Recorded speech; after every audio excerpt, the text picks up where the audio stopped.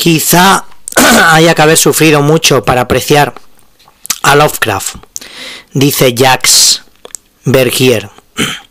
La vida es dolorosa y decepcionante, por lo tanto, es inútil escribir más novelas realistas.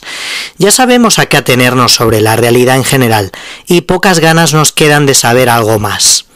La humanidad, tal cual es, ya solo nos inspira una apagada curiosidad. Todas esas observaciones de una agudeza tan prodigiosa, esas situaciones, esas anécdotas, una vez cerrado el libro, no hacen más que confirmar una leve sensación de asco que ya alimenta bastante cualquier día de vida real. Ahora escuchemos a Howard Phillips Lovecraft. Estoy tan harto de la humanidad y del mundo que nada logra interesarme a no ser que incluya por lo menos dos crímenes por página o que trate de horrores innominados procedentes de espacios exteriores. Howard Phillips Lovecraft, 1890-1937. Necesitamos un antídoto supremo contra todas las formas de realismo. Cuando uno ama la vida, no lee, ni tampoco va mucho al cine. Digan lo que digan, el acceso al universo artístico queda más o menos reservado a los que están un poco hasta el gorro. Lovecraft llevó a estar un poco más que hasta el gorro.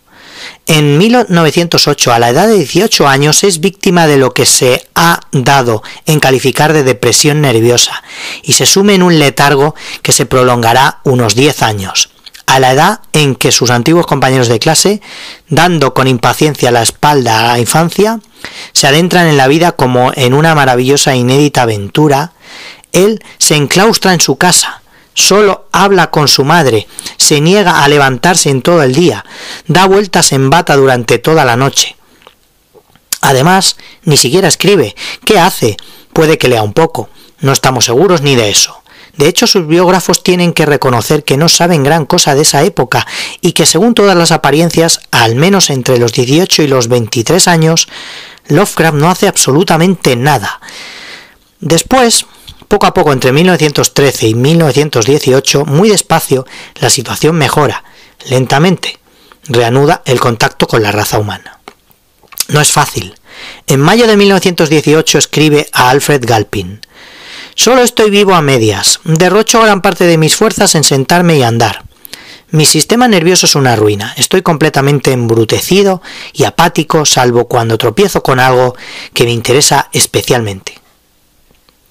Al fin y al cabo, es inútil dedicarse a reconstrucciones psicodramáticas porque Lovecraft es un hombre lúcido, inteligente y sincero. Al cumplir los 18 años, se abate sobre él una especie de terror letárgico, cuyo origen conoce a la perfección. En una carta de 1920 habla mucho de su infancia. Su pequeña línea férrea con los vagones hechos de cajas de embalaje, la cochera donde había instalado su teatro de marionetas y más adelante su jardín cuyos planos había trazado él mismo, cuyas avenidas había delimitado. Regado por un sistema de canales que había acabado con sus propias manos, el jardín se escalonaba en torno a un pequeño césped, con un reloj de sol en el centro. Ese fue, dijo, el reino de mi adolescencia.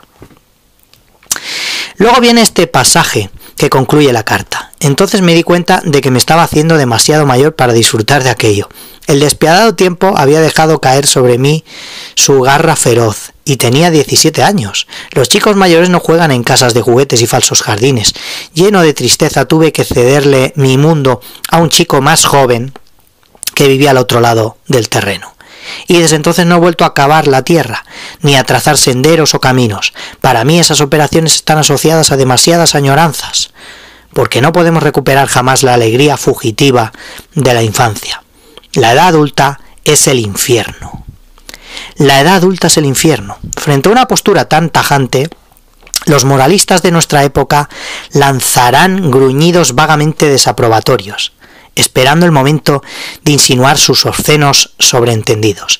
Tal vez sea cierto que Lovecraft no podía convertirse en adulto, pero lo que está claro es que no lo deseaba. Y teniendo en cuenta los valores que rigen el mundo adulto, difícilmente podemos reprochárselo. Principio de realidad, principio de placer, competitividad, desafío permanente, sexo y empleo. Nada para entonar aleluyas. Lovecraft sabe que no tiene nada que ver con este mundo y siempre sale perdiendo, tanto en la teoría como en la práctica. Ha perdido la infancia, también ha perdido la fe. El mundo le asquea y no ve motivo alguno para suponer que las cosas pudieran ser de otro modo si mirase con más atención. Considera que las religiones son otras tantas ilusiones edulcoradas que el progreso de los conocimientos ha vuelto obsoletas. En sus excepcionales periodos de buen humor hablará del círculo encantado de la creencia religiosa, pero es un círculo del que en cualquier caso se siente excluido. Pocos se han sentido tan impregnados como él, tan calados hasta los tuétanos por la nada absoluta de cualquier aspiración humana. El universo no es más que una furtiva disposición de partículas elementales, una figura de transición hacia el caos, que terminará arrastrándolo consigo. La raza humana desaparecerá, aparecerán otras razas que desaparecerán a su vez. Los cielos serán glaciales y estarán vacíos. Los atravesará la débil luz de estrellas medio muertas, que también desaparecerán. Todo desaparecerá, y los actos humanos son tan libres y están tan desprovistos de sentido como los libres movimientos de las partículas elementales. El bien, el mal, la moral, los sentimientos, meras ficciones victorianas. Solo existe el egoísmo, frío, intacto y resplandeciente. Lovecraft es muy consciente del carácter obviamente deprimente de sus conclusiones, como escribe en 1918. Cualquier racionalismo tiende a minimizar el valor y la importancia de la vida, y a reducir la cantidad total de dicha humana. En muchos casos la verdad puede provocar el suicidio o al menos determinar una depresión casi suicida. Sus convicciones materialistas y ateas no cambiarán. Vuelve sobre ellas carta tras carta con una delectación claramente masoquista. Es obvio que la vida no tiene sentido, pero tampoco la muerte, y es una de las cosas que hielan la sangre cuando uno descubre el universo de Lovecraft. La muerte de sus héroes no tiene el menor sentido, no trae consigo el más mínimo sosiego, no permite en modo alguno concluir la historia. De forma implacable, Howard Phillips Lovecraft destruye a sus personajes sin sugerir nada más que el desmembramiento de una marioneta. Indiferente a estas miserables peripecias, el horror cósmico sigue creciendo. se extiende y se articula. El gran Cthulhu despierta de su sueño. ¿Qué es el gran Cthulhu? Una disposición de electrones como nosotros. El horror de Lovecraft es rigurosamente material, pero es muy posible que mediante el juego de las fuerzas cósmicas, el gran Cthulhu disponga de un poder, de una fuerza de acción considerablemente superiores a los nuestros, cosa que a priori no es nada tranquilizadora. Lovecraft no vuelve de sus viajes por las dudosas tierras de lo indecible para traernos buenas noticias. Nos confirma que tal vez algo se oculta y en ocasiones se deja entrever tras el telón de la realidad. Algo verdaderamente innoble. Sí, es posible que más allá del limitado campo de nuestra percepción existan otras entidades, otras criaturas, otras razas, otros conceptos y otras inteligencias. De entre estas entidades, algunas son probablemente muy superiores a nosotros en inteligencia y saber. Pero esto no es por fuerza una buena noticia. ¿Qué nos hace pensar que esas criaturas, por diferentes que sean, manifiesten de algún modo una naturaleza espiritual? Nada permite suponer una transgresión de las leyes universales del egoísmo y la maldad. Es ridículo imaginar que en los confines del cosmos esperan unos seres llenos de sabiduría y benevolencia, para guiarnos hacia quién sabe qué armonía, para imaginar la forma en que nos tratarían si no, si entrásemos en contacto con ellos. Basta recordar la forma en que nosotros tratamos a esas inteligencias inferiores, que son los conejos o las ranas. En el mejor de los casos nos sirven de alimento. A menudo las matamos por el mero placer de matar. Esa es, nos advierte Lovecraft, la verdadera imagen de nuestras futuras relaciones con las inteligencias ajenas. Puede que algunos hermosos especímenes humanos tengan el honor de acabar en una mesa de disección, y ahí termina todo. Y de nuevo nada de todo eso tendrá el menor sentido.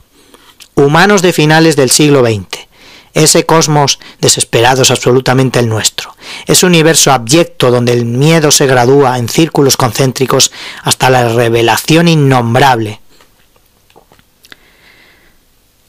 Ese universo en el que nuestro único destino imaginable es ser triturados y devorados.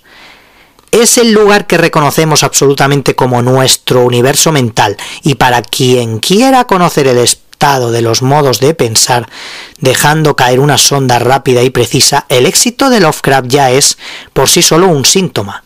Hoy más que nunca podemos hacer nuestra la declaración de principios que inicia Arthur Jeremy. Jermin.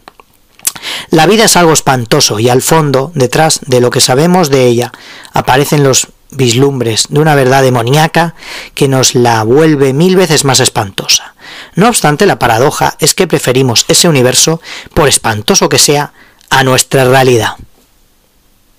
En eso somos sin duda, sin lugar a dudas, los lectores que Lovecraft esperaba. Leemos sus cuentos con la mismísima disposición de ánimo que le obligó a escribirlos. Satanás o Nyarlathotep, ¿qué más da? Pero ya no soportaremos un minuto más de realismo. Y para decirlo todo, Satanás está un poco devaluado por culpa de sus prolongadas relaciones con los vergonzosos recovedos de nuestros vulgares pecados. Más vale Niarlatopet, frío, malvado e inhumano como el hielo.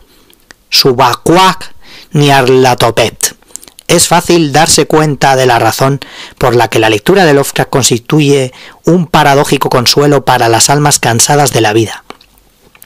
De hecho, podemos aconsejársela a todos aquellos que por un motivo u otro llegan a sentir una auténtica adversión por la vida en todas sus formas. En algunos casos, el colapso nervioso que provoca una primera lectura es considerable.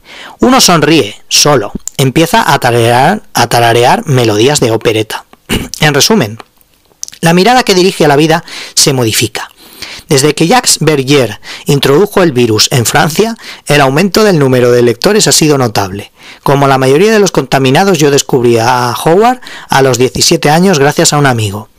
Como impacto, fue de los fuertes. No sabía que la literatura podía hacer eso, y además todavía no estoy seguro de que pueda. Hay algo en Lovecraft que no es del todo literario. Para convencerse hay que considerar primero que al menos 15 escritores, entre los que podemos citar a Frank Belknap Long, Robert Bloch, Lynn Carter, Fred Chappell, Auguste Derlet, Donald Wandry, han consagrado toda su obra o parte de ella a desarrollar y enriquecer los mitos creados por Howard. Y no furtivamente, a escondidas, sino de modo confeso. De hecho, la filiación se ve reforzada de forma sistemática por el uso de las mismas palabras, que cobran así un valor conjunto. Las agrestes colinas al oeste de Arham, la Universidad de Miskatonim, Irem, la ciudad de las mil columnas, Rielej, Sarnat, Dagón, Nialnatopep y sobre todo el inclasificable, el blasfemo Necronomicon, cuyo nombre solo puede pronunciarse en voz baja. Ya, ya, Shum, Nigurat la cabra de los mil cabritos. En una época que aprecia la originalidad como valor supremo en las artes, el fenómeno no deja de sorprender. De hecho, como subraya oportunamente Francis Lacassin, no había noticias de algo semejante desde Homero y los cantares de gesta medievales. Debemos reconocer con humildad que en este caso estamos tratando con lo que se ha dado en llamar mito fundador. Literatura ritual. Crear un gran mito popular es crear un ritual que el lector espera con impaciencia, que reconoce con creciente deleite, seducido en cada ocasión por una nueva repetición en términos ligeramente distintos que para él es una nueva profundización. Así presentadas las cosas parecen simples, y sin embargo los logros son poco frecuentes en la historia de la literatura. En realidad apenas es más fácil que crear una nueva religión. Para hacernos una idea de lo que está en juego, hay que padecer en nuestras propias carnes esa sensación de frustración que invadió Inglaterra tras la muerte de Sherlock Holmes. Conan Doyle no tuvo elección, se vio obligado a resucitar a su héroe. Cuando abandonó a su vez las armas, vencido por la muerte, un sentimiento de tristeza resignada recorrió el mundo. No iba a quedar más remedio que conformarse con la cincuentena de Sherlock Holmes existentes y leerlos y leer, releerlos una y otra vez. No iba a quedar más remedio que conformarse con los continuadores y los comentaristas. Acoger con una sonrisa resignada las inevitables y a veces entretenidas parodias, conservando en el corazón la nostalgia de una imposible prolongación del núcleo central, del corazón absoluto del mito, un viejo baúl del ejército colonial donde se encontrarían mágicamente preservados unos Sherlock Holmes inéditos. Vale, ¿y qué estamos leyendo hoy? Ahí va. Michel Houellebecq, Howard Philip Lovecraft, Contra el mundo, contra la vida. ¿Vale? Un ensayo del francés, prestigioso francés por cierto, que arremete muchas veces contra todo. Eh, publicado por Editorial Ciruela, ahora ha sido vuelto a editar, es diferente la edición. ¿Vale? Aquí vemos un poco la bibliografía de la que el autor eh, ha consultado para poder hacer esto. Es una maravilla. Son pocas páginas, ¿vale? Es de la biblioteca. Libros del tiempo, vemos aquí la colección.